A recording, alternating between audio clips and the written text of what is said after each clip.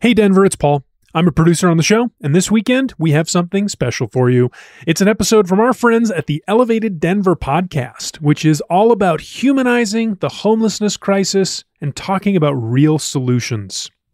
And this one is really cool because if you're a regular listener, you know how much attention we've been paying to the mayor's race. But there are still issues we haven't had the chance to go deep on. Fortunately, Elevated Denver was able to get both remaining candidates, Kelly Brough and Mike Johnston, to sit for extended interviews on the issues related to housing and homelessness. So I'll drop some links in the show notes if you want to learn more about Elevated Denver and subscribe to their show. But that's all from me. Enjoy.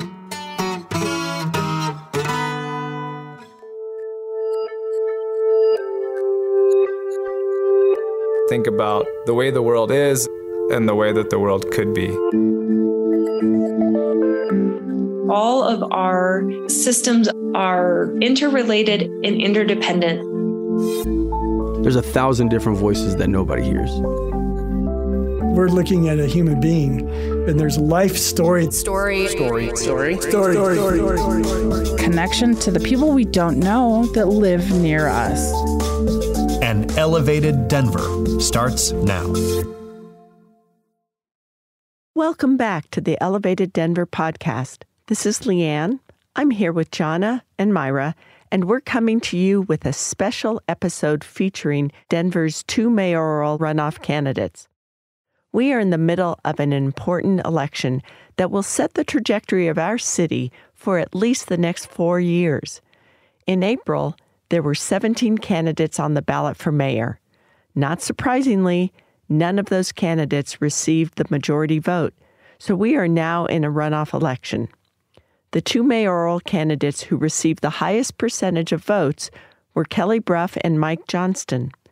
Kelly and Mike both agreed to sit down with us and talk about their plans for tackling one of the most pressing issues of our time homelessness. We interviewed each candidate separately and asked them the same set of questions, which were informed by our unhoused neighbors. We wanted to give Kelly and Mike the opportunity to go a little deeper on what they are planning and why. Though they are proposing different approaches, both candidates advocate for a community based response that engages those with lived experience in addressing homelessness. We want to thank each of the candidates, and we're really looking forward to sharing these conversations with you, which are being brought to you with the support of Warren Village and Rose Community Foundation. Could you please introduce yourself? Uh, yes, my name is Mike Johnston. I'm a candidate for mayor of Denver. When you think about homelessness, what comes to mind? What comes to mind for me are the people I've talked to and had conversations with. I mean, the one that comes to mind right now is standing in line outside of a shelter in the morning during breakfast and talking to a gentleman who was sitting there with a construction hat in his bag. And I asked him, you know, are you working construction? He said, yeah, I have been for 11 months. He said, last night was actually the first night I've been back in a shelter in 11 months. I said, why? He said, well, you know, I served two tours in Iraq, I was a veteran and came home and got injured and in my rehab got addicted to opioids uh, and I've been trying to get clean for a while and struggled, but now I'm going to a methadone clinic and I have, you know, appointments a couple mornings a week, but the problem is I got to get on a bus at 5:30 to get to my clinic and if I'm going to do a construction shift, I also got to be at the site at 5:30 in the morning to be able to get on that shift. And so every day I got to pick: Am I going to go to treatment or am I going to go to work? And this was a hard week, and I knew I wasn't going to make it if I didn't go to treatment. So, uh, so I went to treatment. I missed my shift. I couldn't pay my bill at the hotel, and they kicked me out. And so now I'm back homeless for the first time. And I just think about that story and how hard he's working to get his life back together, how much he's given to this country, and how little it would take for us to help him get back on his feet if we did it the right way. Could you please introduce yourself? Hi, I'm Kelly Brough. I'm a candidate for Denver mayor. When you think about homelessness, what comes to mind?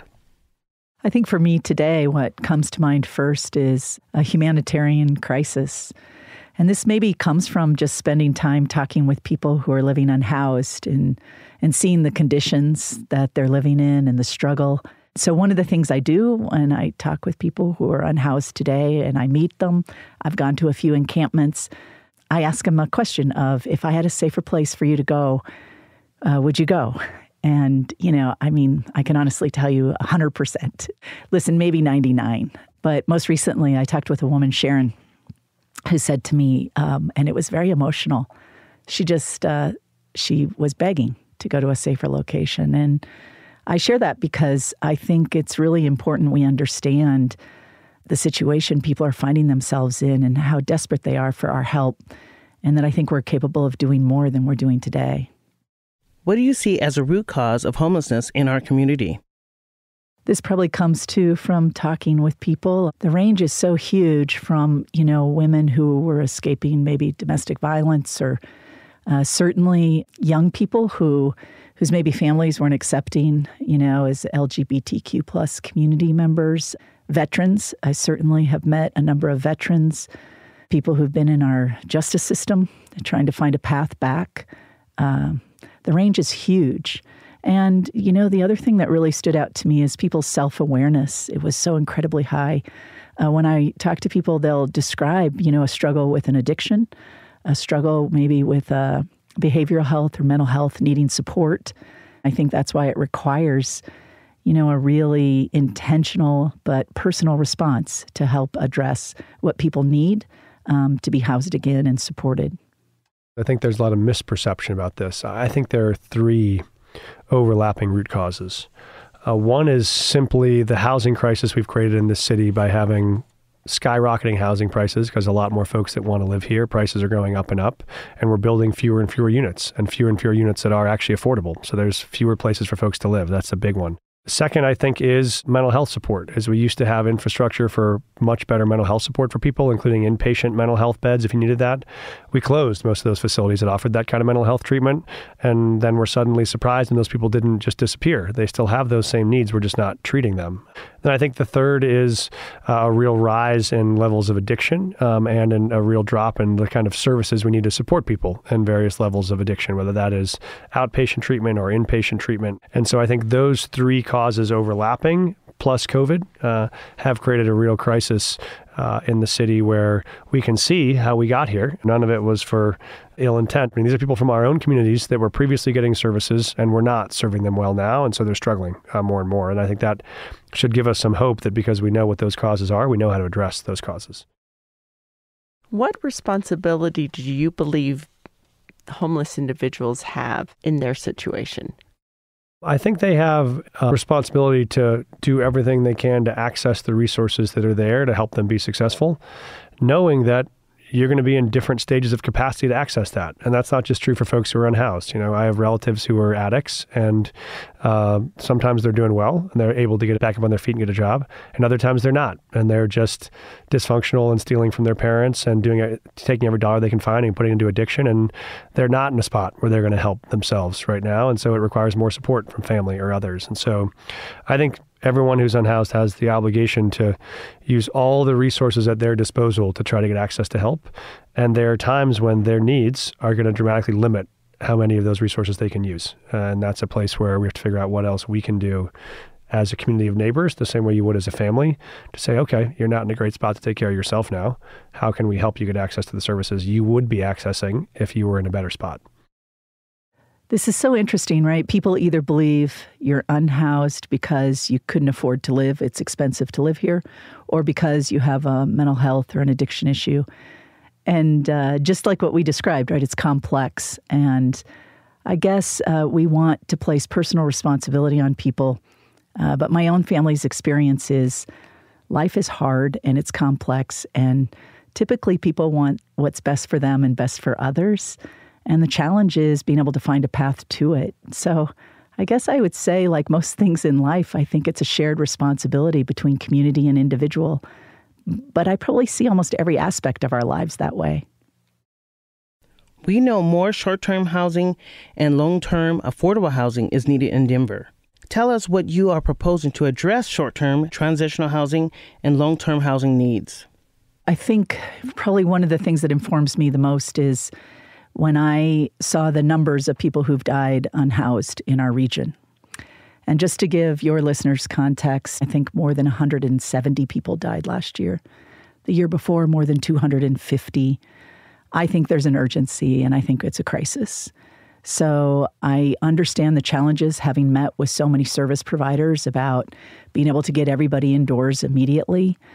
So, what I would do uh, short term is sanction uh, outdoor sites temporarily, but that we could get people to safer locations as quickly as possible.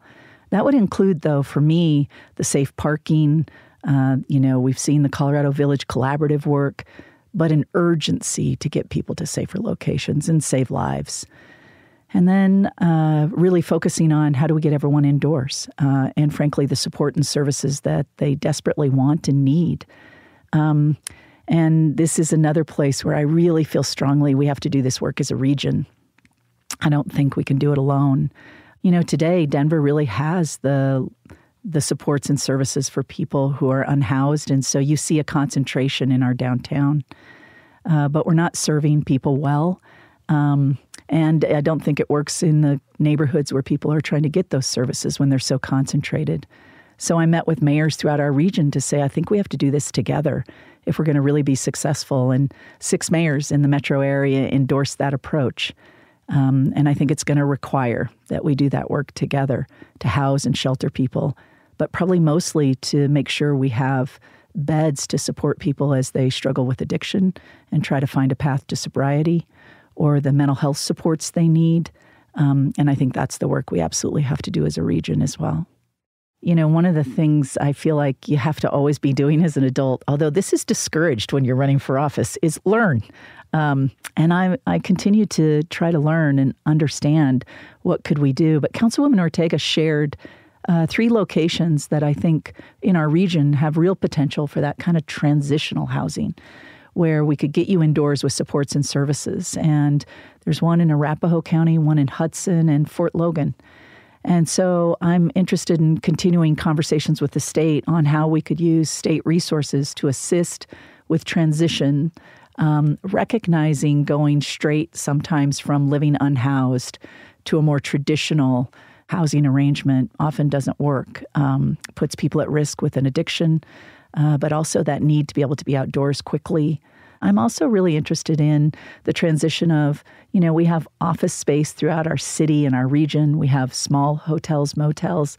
I think these could also be spaces that might make a lot of sense. And together, uh, we could look at how we might, you know, refurbish or re uh, adapt those uses uh, for the kind of use we need today.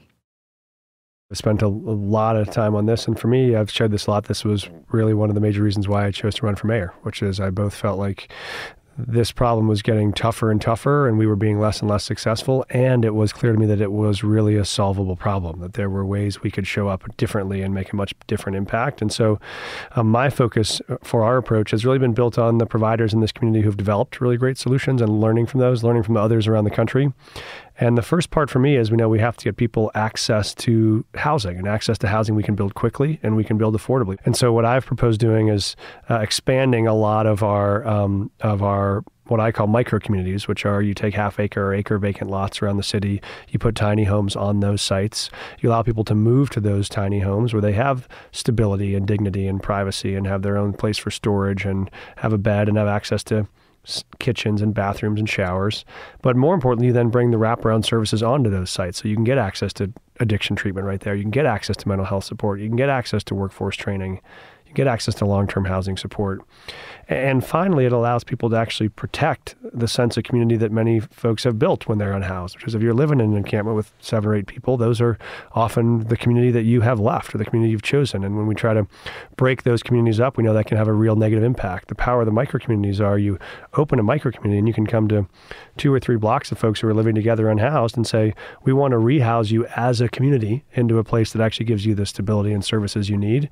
And we know that really works. And I want to do that intentionally and deliberately at scale so that everybody who is currently unhoused can really get access to the stability and services they need to get back on their feet. I think those are a really important part of the transitional housing plan for me because you get people, you know, you're you got air conditioning, you got heat, you got a locked door, you're not going to freeze to death. You also have important things like a physical address. So if you want to apply for a job, people can actually send you information in the mail or you can they can get back to you for an interview. If you have treatment or needs that you want to get in place, you can, then you get some training, get a first job, get a first couple months of paychecks that you can build up to then move into a, a more permanent unit.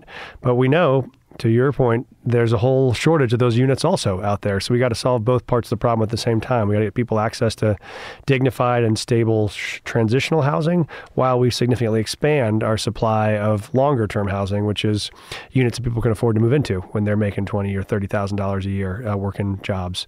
And so uh, I think it's a matter of doing both. I'm happy to talk more about the the long term housing, but there my vision is to build twenty five thousand units across the metro area that would be permanently affordable, which would mean no one that lives in them ever has to pay more than 30% of whatever they make to rent. And most importantly, they stay permanently affordable so you don't have every fear that the landlord's going to jack up your rent at the end of the next month and you'll be pushed back out on the street again. We need that kind of stability and that long term consistency so people can build lives around them, which right now it's just month to month. How do you attend to some of the more population specific needs. For instance, folks who identify as transgender or non binary, or folks who have disabilities and um, have mobility issues. I think what I like about the idea of these micro communities is it does allow choice. So if when you have 10 or 20 of these around the city, like for instance, if you go to the Colorado Village Collaborative one in North Park Hill now, one of the communities they're opening now is focused explicitly on women and trans and non-binary individuals who want to have a community of people that share that certain experience or that certain um, identity. And so, uh, and similar, another one allows for families and for service pets. And so, the benefit is when you have different kinds of communities, you can allow for choice for communities that are important to people. I think this allows for a smaller sense of community and identity, and for people to choose into those identities that are most meaningful to them. This is where I think we also have to really revamp our shelters. You know, our shelter system was one that was built on congregate sheltering basically for straight white men, if we're really honest about it. And that's not at all uh, who is the, uh, you know, only people living unhoused in our city. And so, you know, one of the things when you look around the nation at who's doing a better job at housing and sheltering and providing services, you really notice really good data helps where you start to assess what programs really worked and for whom. Uh, where do we have gaps? Uh, you know, not enough beds. In December, we had three beds for women. I assure you, when I was meeting with people in encampments, hundreds and hundreds of women were unhoused. So I think we have to adapt our shelters that your belongings are safe, you're safe. You can stay in the community that you're forming. You're welcome there. Uh, your partner is welcome there uh, your family is welcome. And I think this is a key part of, as we think about the system we're building in the future, as we start to identify our gaps, I would really focus on those populations who have had nowhere to go. We have heard from our own interviews with over 25 unhoused individuals about the challenges to understanding and accessing available services, such as getting linked with a case manager or getting an ID. What solutions are you proposing that address these breakdowns or inefficiencies in the system? The city of Denver has um, a number of outreach workers today who are doing this work. I think it's just critical uh, that we continue to look at do we have the right number and and frankly the right diversity uh, of outreach workers doing the work uh, to providing the support and help um, and then partnering with all the nonprofits who work in this space I'm also interested, though, in how could we engage the private sector a little more in this work? Um, you know, I've heard huge range of estimates uh, about the number of people who are unhoused, and you know, to me, this includes people who are couch surfing and um, living in their cars, and and how many have jobs. And you know, the estimates are around forty percent, and so I think there's a huge opportunity to work with employers um, uh, public, private, and nonprofit, but recognizing these are our employees. And what could we do together that could increase the support and service we're providing? But otherwise, I don't think we can make the kind of progress we need to make. This is another one of the reasons why, when I looked at what was working, why I think these micro communities are so effective is you can then deliver services to people much more easily when you know exactly where they are. They're in a community where they have an address. You can come bring Health and Human Services one day to provide access to services. You can bring the DMV one day to be able to print IDs.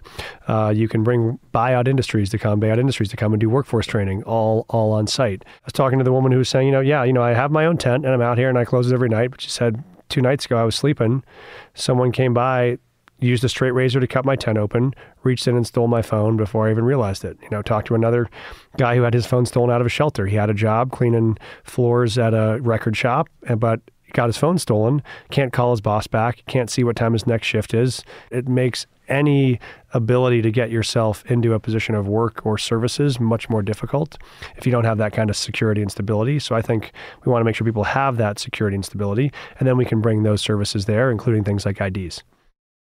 We continue to hear about the dysfunctionality of that system. Accessing services is critical. And there doesn't seem to be a standard, effective way to understand what services and resources are out there. So, how do you think about that dysfunctionality and think about a place potentially for innovation?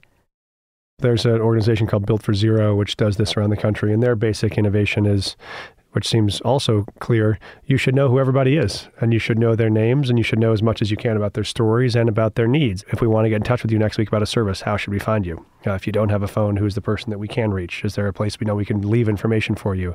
Are there shared mailboxes we can establish for people so they can get drop boxes? Are there shared email accounts we can give people access to?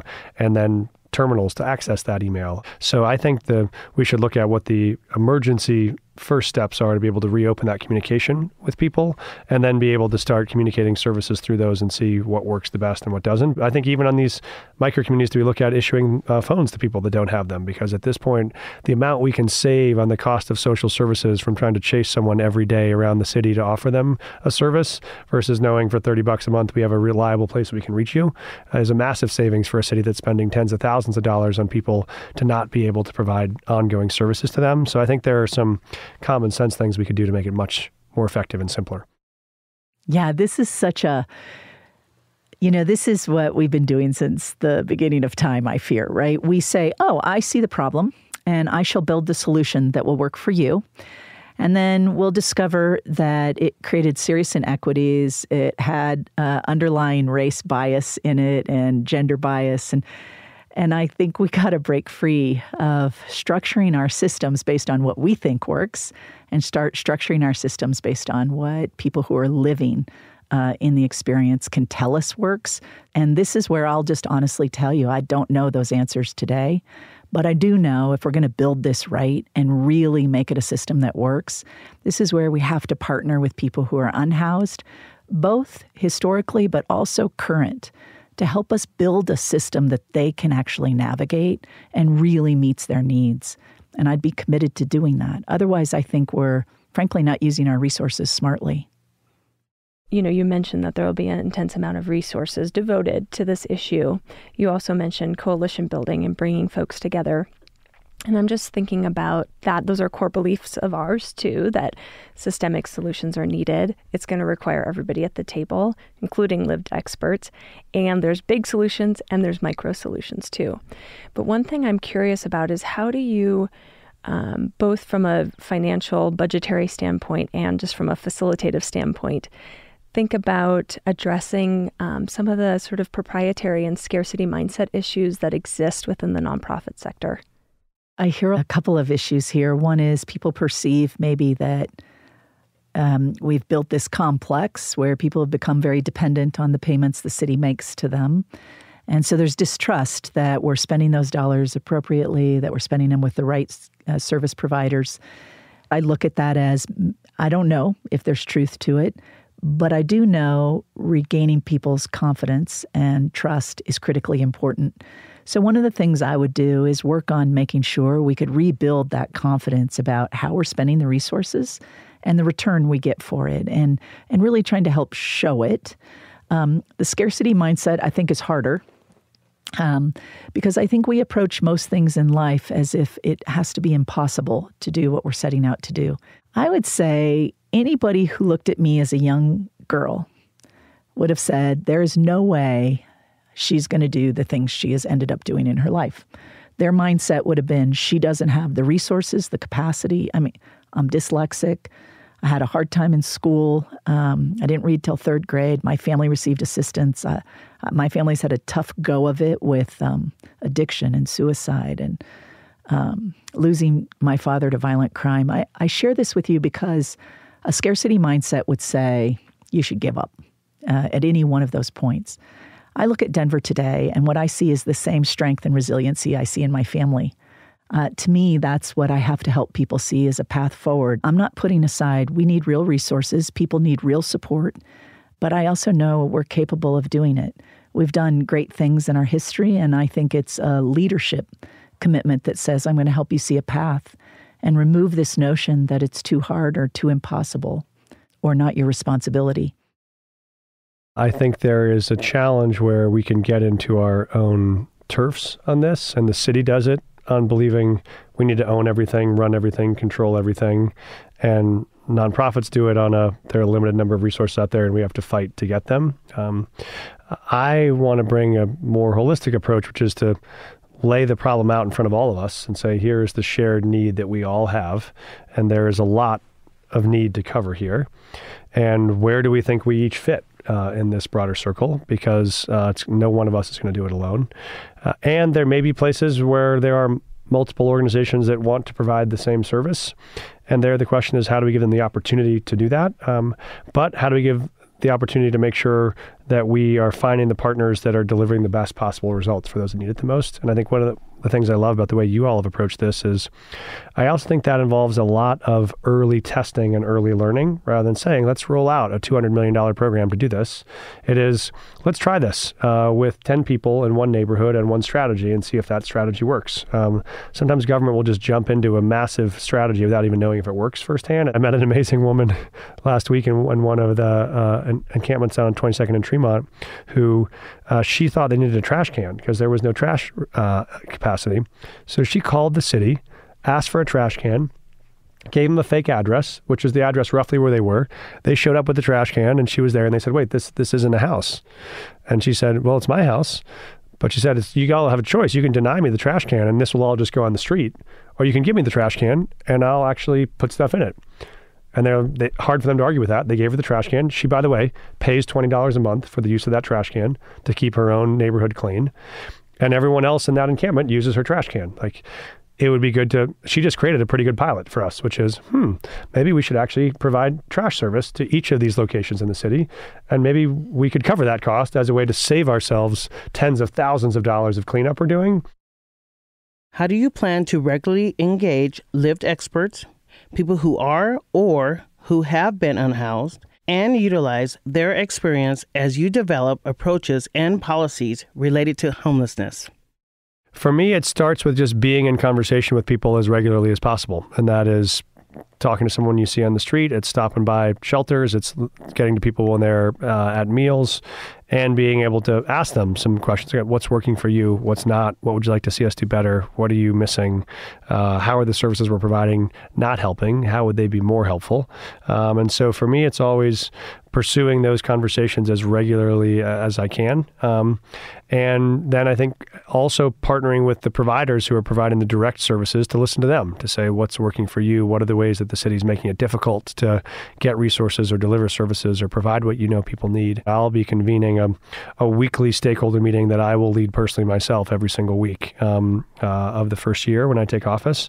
And that will be a chance for us to get regular feedback on okay, here's what we rolled out this week. How did it work? What worked? What didn't? What do we need to change? Uh, what holes do we have? Because I think a big part of this is is communication and partnership and coalition. I think what I've heard from a lot of the providers and from uh, the people currently experiencing homelessness is there does not feel like a unified, organized effort that is combining all the services into one uh, kind of ladder of intervention and support. And I think that's the city's obligation to be that convener because we have the most resources and the most people and the most branches of city government that might touch all these individuals. And we've got to make sure those are all aligned.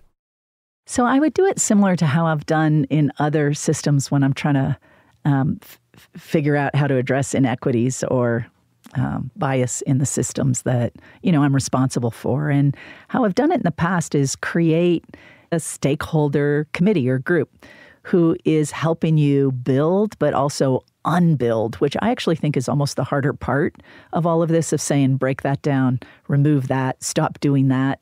Um, and so I would see it as an ongoing expertise who's helping guide us that we could bring um, issues to and ask them to help us build or unbuild what we need to do. And it would be regular meeting um, that we're inviting together. Uh, and and I would partner with um, uh, people working in the space, both the nonprofits, uh, but also there's so many people who have come out of being unhoused who are turning around, providing direct service to people who are unhoused today. I think they could help us identify who should serve on that. Uh, what does that service look like that's not too burdensome either? But I would structure an ongoing oversight committee basically to help. Just thinking about a stakeholder group that engages lived experts, how would you approach really building and maintaining trust with those individuals and also shifting power so that they're able to really fully participate in spaces where traditionally the power would be with other folks in the room? Mm-hmm. I'd ask folks like you who are spending your lives trying to do it um, to make sure we structured it correctly. But I can almost guarantee you, however we structure it out of the gate, I'm going to get it wrong. But that's the reality, right? We will miss uh, pieces, we will build it a little wrong. And so, mostly what I would commit to is to change it quickly. Uh, because the goal here is to build a system that helps people find the path uh, for themselves, and I can't I can't build that without them. And so I need to even their help in building what's the system look like that they help, you know, engage in this work. So, two ways. One is I feel like it's important to have as many direct private conversations with people who are unhoused as possible because I think people are most honest when they don't have to be in front of a stakeholder room of 20 other people. Um, and so I want people at the broader table, but I also really value making sure there are direct personal conversations I can have. And I know that, you know, what I know from the folks that I've talked with who are unhoused is if you know one person who's unhoused, you know one person who's unhoused. You know, there are a thousand different stories to what might have brought you to the current situation. And there is no, oh, I talked to one person and now I know the solution is X. It is a matter of getting to know all the different stories. So I feel like it's my obligation, and it's the obligation of anyone that works in our administration, to get, have as many of those conversations personally as you can. And I put myself in places where I can do those. How will you increase the number of peer professionals and other lived experts to serve the unhoused? Yeah, for me, those people are often the ones that have the most rich combination of both experience and expertise because they both had the experience of living through that situation and the expertise of helping others work through it. And so they tend to see both the individual stories and the systems change that are needed at the same time. And so I was just visiting one of the Colorado Village Collaborative sites there and was talking to one of those navigators who was giving really great advice on structure and systems and funding and things we can change. And so I think those are uh, incredibly important uh, people, ones I would want close to me in terms of influencing our policy decisions. We're going to put a tremendous amount of resources into this. And this is a great opportunity for how people move up the ladder of opportunity. You know, you take a group of people that are currently unhoused, we're working hard to provide those folks services. As they get stabilized and up on their feet and they're thinking about what jobs they want to enter or what careers they want to pursue, we hope a significant number will choose this role of navigator. And we know we're going to have a massive demand for these types of staff members. I mean, if we're going to go from one or two of these communities to 15 or 20, we got to 15 times the number of peer navigators we currently have working in these sites. I think this is our hope is that the very way that we're providing services should be the way that we're cultivating and developing peer navigators to then staff the next site that we try to open as we expand. I'll share with you uh, a real huge bias I have, and that is, um, you know, in Europe and South America, you see paid apprenticeships and paid internships for high school kids. And when you use the word peer, I hear uh, young people whose families may be on the edge or uh, or maybe have even been unhoused and um, and I'm really interested in hiring our kids. So the city of Denver can't fill about 10% of its jobs today. That's well over a thousand jobs.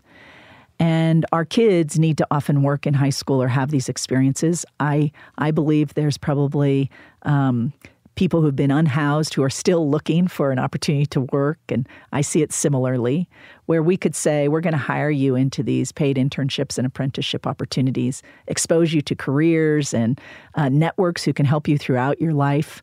Uh, but I think even more importantly, expose us as city employees to innovative thinking, uh, breaking down systems that we have built that have cultural barriers, where having people inside your organization helping you just see all the barriers we have created. Um, but also earning while they're probably learning and advancing their own lives and where they want to go, I think is invaluable for everybody. We know many of the dollars currently devoted to homelessness is to keep people in their current housing situation. How do you plan to prevent people from becoming unhoused?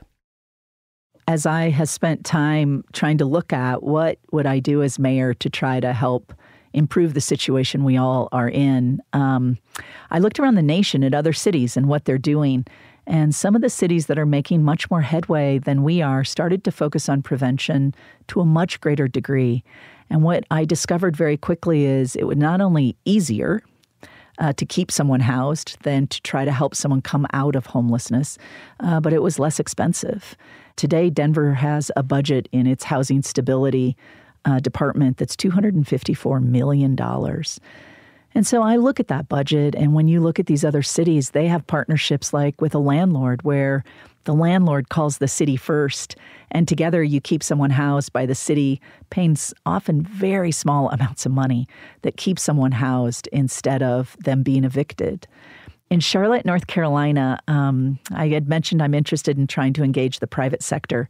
Here's what they did there the business community came together and formed a nonprofit and that nonprofit underwrites the risk of rehousing someone in an existing vacant apartment. They'll pay the deposit. They'll pay their rent if they can't afford their rent. They'll even pay if they have to be evicted. And so landlords will take the risk of rehousing someone. And it's hugely successful. I think almost 90% of the people they rehouse that way signed a second year lease. And it costs like $1,000 per person per year. So much more productive. I'm also interested in master lease programs where I, as mayor, would master lease, basically buy down rent uh, by, you know, renting a number of apartments off the market today, pass those savings on to our residents. But the thing I love most about it is it's like I'm the second on that lease. So before someone's evicted, I get a phone call and I get to say, keep Kelly housed will pay that cost instead of somebody being directly evicted. I think things like that could really help. I find you learn so much if you listen to other people about what's working. Um, and so there are people in the city that have created great solutions, and this is a good example of one of them. Uh, there's an organization here called the Eviction Defense Project, which you probably know. But uh, when I was at Gary, they came to us very early with this idea. And as they said, we have these folks that are about to get kicked out of their rental units because they missed uh, rent for 500 bucks. Landlord's going to kick him out over 500 bucks. Landlord's never going to get that 500 bucks back from them because now they're unhoused. And then the landlord's going to have a unit that sits vacant for two or three months till they rent it out again. So this landlord's going to lose 1500 bucks uh, over kicking this person out, and this person's going to be unhoused. That's a, a lose lose. So what they instead did is raised a fund that's kind of a revolving loan fund where they say, okay, how about this? How about we agree we'll pay you 300 bucks, landlord, for this person to stay in, that saves you the 1500 you'd lose. We'll loan this person the 300 to pay that bill. And when she can pay us back one month, six months, nine months from now, no problem. She can pay us back with no interest or low interest. And this fund can revolve to just support other people that are at risk of being unhoused. It's just such obvious math. It's both the right moral thing to do and it's the right financial thing to do.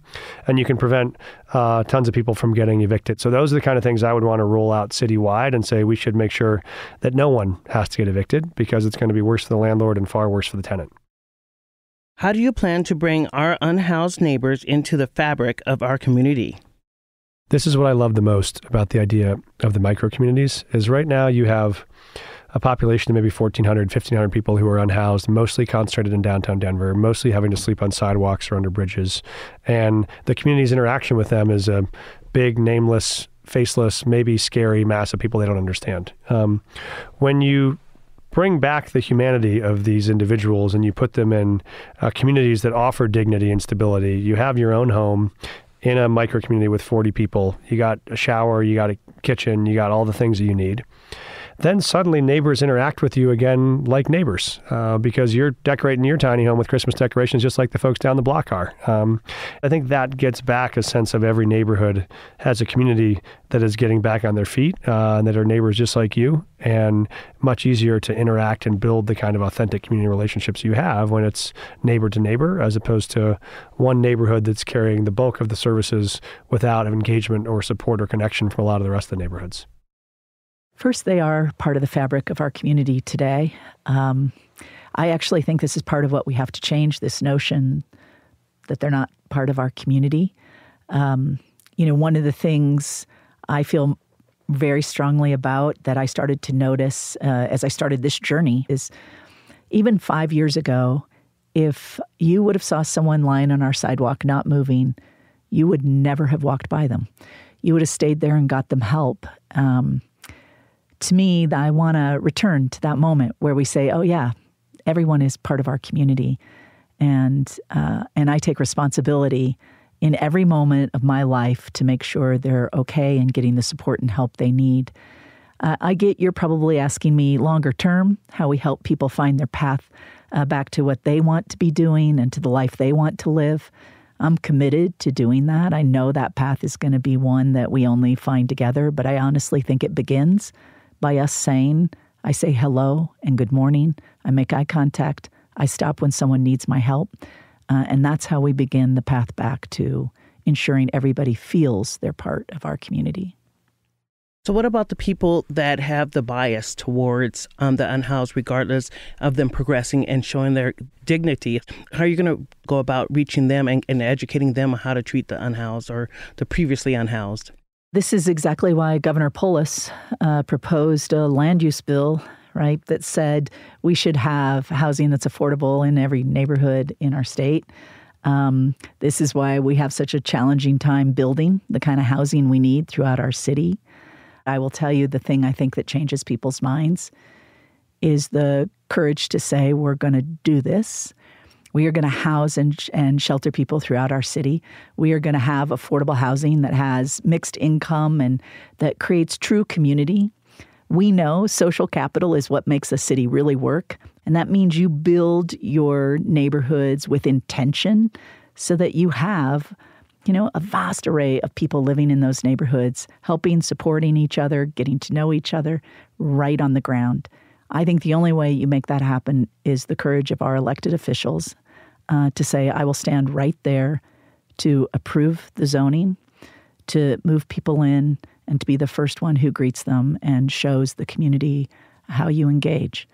And, and what we will all discover is it was really beautiful and it was just fine and it's exactly what a city should look like. But I think the only way we get there is by a little bit of the standing up to the pressure and opposition and just keep going. Yeah, I, I, think that what we've found is there can be sometimes fear or trepidation before because people don't know what to expect. Um, once these communities are present and people get to actually know them, then humanity takes over in a very powerful way. So I know there will be some resistance at the front end. A lot of these neighborhoods where we have vacant lots, where the city has vacant lots, are maybe light residential, light industrial. They're close to transit or other options, uh, but it's but it's a place where uh, there's not a current good use of that land, and actually to put dignified, stable homes onto that site with people that are bringing life to the neighborhood can be a benefit, um, not at all a, a, detriment. And so I think it's a matter of engaging communities up front, talking to them about them, let them have some input onto where we're going to site these, and then have the chance early on to bring them in and build relationships. I think it's a matter of us calling the rest of the community to say, uh, we're all a part of helping deliver this solution and we want you to be included. I do think people actually want to be included, want to have a call to service, want to do their fair share. They just haven't known exactly how to do it yet. If you are Denver's next mayor, tell us one thing that would make you feel like you've been successful. I feel like we would have been successful if four years from now, maybe even three years from now, we could walk out of this office and we could walk 30 blocks in any direction Curtis Park, Arapahoe Square, downtown, Cap Hill at seven o'clock on a Friday or a Saturday or a Sunday night and you would not see anybody who has to sleep on the streets. Like, that's the vision of Denver that I think is entirely possible, and that's the vision I'm running for mayor to deliver because I believe we can be the city that's both great and good. Like it's a place that actually meets the fundamental needs of those that uh, have the least right now and delivers a very different path to recovery for them and a very different sense of possibility for the city. And I deeply believe that's possible, and that's what I will fight every single day to deliver probably my highest priority is that um, people don't die unhoused on our streets. And then, of course, that we actually house and shelter everyone. And and then I could add, you know, my vision of Denver is actually not mine. It's shared by meeting with so many people throughout our city and this recognition of what really makes a city beautiful, what really makes it work is when you build a city where we are truly in community living together uh, where you're checking on your neighbor to make sure they could shovel their walk, and if they couldn't, you did it for them. Uh, to make sure the elderly person on your block uh, got food uh, if they couldn't get out because of snowstorms. Um, that when somebody lost their job, you're jumping in to help them refer them to where there's opportunities or introduce them to employers. Today, I think we're losing completely both the sense of community, but also the integration of the lived experiences um, that are also different for all of us and make our life richer. I suppose my ultimate success is that I get to help build a city that returns uh, social capital where the zip code you're born in is not the number one predictor of where you end in your life. Thank you so much. Thank you to Kelly Brough and Mike Johnston for taking the time to be with us today. And thank you to Warren Village and Rose Community Foundation for supporting this episode and believing in our work. Tune in next time and don't forget to vote. The Elevated Denver podcast is produced by Leanne Morrison, Myra Nagy, and Jonna Flood. Editing, sound design, and music are composed and provided by Jesse Boynton. Recording and production provided by House of Pod. If you found this episode interesting and would like to learn more about our work, please visit us at elevateddenver.co. And don't forget to let others in the community know about this podcast. It's going to take all of us to build an elevated Denver.